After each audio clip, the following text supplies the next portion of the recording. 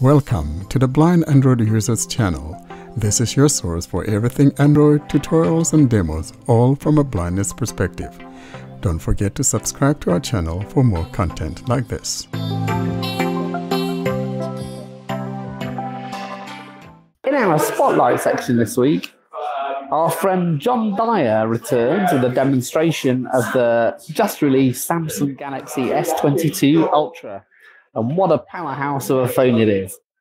Hello, everyone. This is John, and I'm here to do an unboxing of the Galaxy S22 Ultra. I just got it today. It's Wednesday the 23rd. So I got it a little bit early if you go by the official release date. Although people have been getting theirs for a few days now, so. But I'm glad to have mine. So I got it right here. I'm gonna go ahead and start unboxing it. So just your typical box with tape. It's a pretty small box for such a big phone. You know what that means. Not gonna be much in here. Alright. So I'm gonna open it up. Set the top aside. I'm just gonna go right to the phone. Okay. Wow. I like it. So, it was face down, or it was face up, screen up when I opened the box. And it's got a plastic on the back. I don't know that it has anything on the front. Well, actually, yeah, it does. It has a screen protector on the front. I'm going to leave that on for now. Take the one off the back. Wow. Okay, so first thing that's pretty noticeable on the back is that it's completely flat. There's no camera bump. However, the cameras uh, protrude from it. So it's like each camera is their own camera bump. Uh, the three cameras on the left seem to be about the same size. The two to the right of that, I guess one's only one of them is technically a camera. The other is a uh, time of flight sensor, or actually no, I think this year it's a laser autofocus. So yeah, there's a laser laser autofocus there's the wide camera, the ultra wide camera, and two telephoto lenses. One is 3x, one is 10x. Alright, so well, I'm to go ahead and take the screen protector off too. Set that aside. Okay, so there doesn't seem to be any thing on the sides that I need to peel off. I don't want to pick at it. Um, so the first thing I'm noticing is that the top and the bottom of it are completely flat. Like I could, I don't know if I should try or not, but I could probably stand it up. Okay, maybe not, but almost. It's pretty flat. Um, yeah, and along the top is just as far as I could tell, just the one hole for the microphone. Along the left side seems to be nothing, just completely smooth. The right side is the um, volume keys at the top, and then the power underneath that. Uh, actually, I so I'm I can tell there is some little plastic that you need to peel off the sides, but I'm going to leave it on for now. I'll deal with that later. And across the bottom, there seems to be an S Pen to the very left. It's uh, a little bump sticking out so you can feel it. And I don't know if you can hear that or not, but when you press it in, it ejects. This is a this is the first S Pen phone that I've ever had, so this is going to be an experience. I'm just going to put that back in. To the right of that is the speaker, then the USB C port, then what I think is the, yeah, it's got to be the SIM tray there. And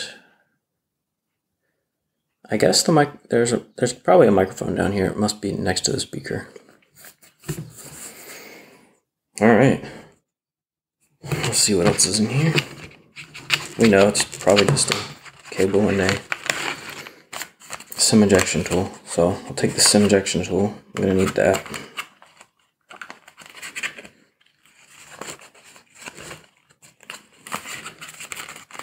And I'm gonna need the cable too set up.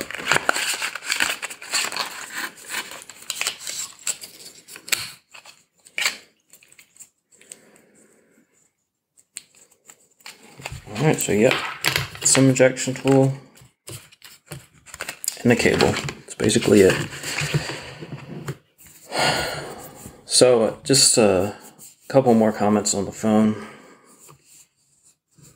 It's got a nice matte feel to it. It doesn't feel as glossy as what I'm used to with the Samsung phones. Um, so, I do like the feeling of it. It curves nicely around the edges, and like I said, the top and the bottom are flat. Um, it's not as big as I was expecting it to feel like. Um, it's probably pretty close to the size of the Pixel 6 Pro. Might be a, just a little bit bigger. I don't have one to compare, but just by holding it, it feels about the same size. All right, so I guess I'm to go ahead and turn it on now.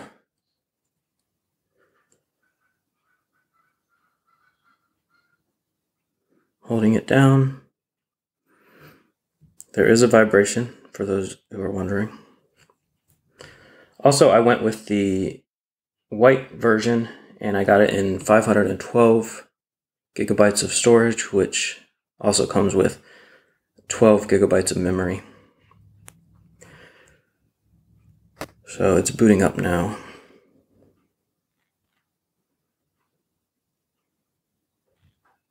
I'm just going to do the Samsung shortcut. So just gonna press volume up and the side key. Press both side and volume up keys. And then I press it again. On. So talkback's Welcome on. To talkback. Welcome to talkback. Alright, so Allow TalkBack to make and manage phone calls. TalkBack is Allow up and running. Button. Double tap to activate. It's asking for permissions. Samsung Setup Wizard. Welcome.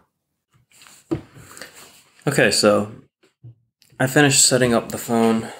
Um, I didn't want to bore you with all of that, so I just paused the recording.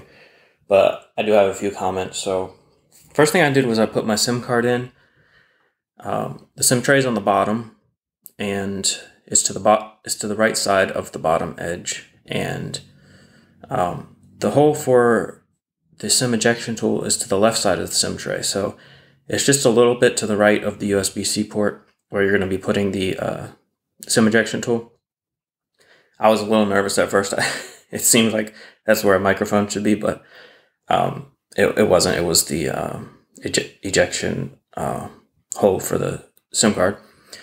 And when I put the SIM card in, it goes in with the uh, cut corner to the top right.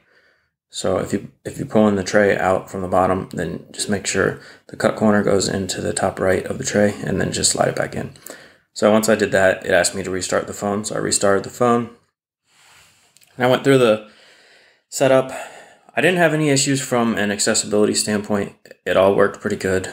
Uh, the fingerprint sensor setup went really well. Um, only thing I really had an issue with is, for whatever reason, it wouldn't detect when I connected my Pixel 5a to it using the cable. I used the cable that came in the box, and I installed Smart Switch on my um, Pixel 5a, and I couldn't get them to detect each other, so I had to do it. I still used the Smart Switch app. I just did it wirelessly, so I connected them wirelessly and just did the transfer that way. I don't think uh, it, it made a difference. It, it might have just taken a little bit longer.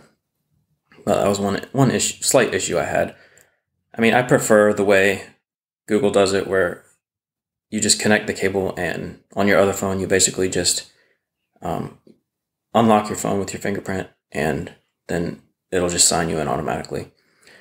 Um, that being said, it did sign me in to my Google account automatically, and then when I went to log into my Samsung account, I just did sign in with Google, which I was already signed in. So it just asked me for the verification code that it sent to my other Samsung device, my tablet. So um, as far as like having to put in passwords, I didn't have to put any, any passwords in, uh, except for, of course, my Wi-Fi password. And then I just, uh, because of the two-factor authentication, I had to put in that code.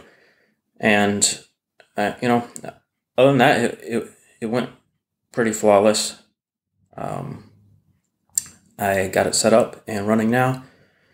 Um, obviously, I haven't used it much, but just wanted to confirm that from an accessibility standpoint, you know, the setup was pretty flawless, pretty standard for what you can expect from a phone running Android 12.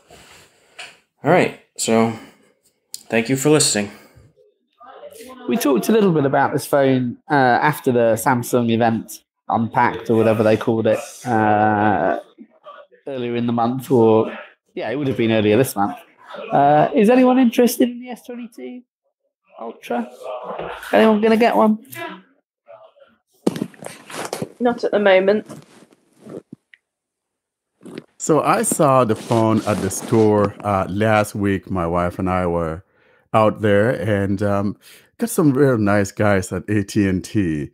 And I actually like the phone. You know, it has that boxy feel of a Sony phone and all of that. Um, however, I think the one thing that I didn't like about it is the S Pen at the bottom there.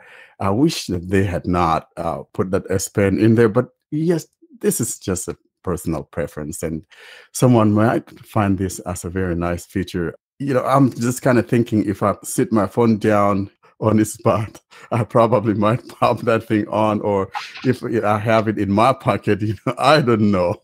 I just don't. Uh, I'm kind of having a little bit of a mixed feeling about uh, the location of that S Pen and how it is uh, implemented. You know, Feel wise, how did it compare to your Fisher Price? So when this knucklehead talks about the Fisher Price, he's talking about my gorgeous uh, Pixel. Now, frankly, the, these two phones are absolutely the same in every way, except that the Samsung one is a little bit fatter. Um, the uh, Pixel 6 Pro uh, looks absolutely stunning in the sense that it's a thinner device. So if you like a thinner device, uh, this is the one to get. I like big phones. I don't care how big or heavy they are. I, I think for me, all it boils down to is the build of the phone. And this Samsung one is just as beautifully crafted as the Pixel 6 Pro is. So if you're getting this phone, it's not something to you know be regretful about it. I mean, uh, they have up to one TB, and I hope that Google uh, emulate this in their next coming uh, Pixel Seven series. Excellent. Thanks, Warren. Yeah, you don't have to regret getting the Samsung S22 like you might have to regret getting the Fisher Price. so I looked at the S22 Ultra, and after having the Note series previously, I actually don't really notice have the S Pen's implementation being really too obstructive. It does take a minute to get used to it being there, but I think that comes basically with time. Like you put your hand on it, if your fingers aren't reaching for the S Pen on a regular basis, it is very easy to just forget it even exists. So I think in that regard, having the S Pen option in the Ultra really is kind of a benefit because there's obviously tons of people who love the S Pen. And it's one of those added bonuses that I think were really lacking when they launched the um, Fold series, given the fact that there's more than enough space in the Fold series to have the S Pen and the pen is more beneficial with the large screen I think it was one of those things that really was lacking in this um, Z series. So I'm kind of glad to see it has been implemented in the main S series of phones, and kind of starting to see that merge between the Note series, the S series. I think that pen just comes as an added bonus. And I like what you did there when talking about differences that you didn't notice, like a little E before the I. Uh, I thought that was a wonderful plan. So uh, yeah, that's right. And, and, and as someone who wants to reach for their pen on a regular basis, it certainly needs to be accessible. I think so. Uh, exactly, yeah. like yeah. having it easy to access in built into your phone. I find that more efficient than having to go and dig it out of a third party case and then use make use of it. So having it there to me is just that added bonus, added speed, basically. Yeah, definitely. How big is the phone? I mean, can you fit it in your pocket or is it too big? It all depends on your pockets. It isn't necessarily a very big phone, uh, you know, per se. It's just like the Pixel 6 Pro. Uh, the Pixel is 6.7 inches, and I think the uh, S22 Ultra is 6.8. So it's not it's not that big. Um, it's for me, I, maybe because I like big phones, it's just a perfect size for me. So um, maybe for a lady, it may be a little bit too big, but you could just drop that thing in a purse or something.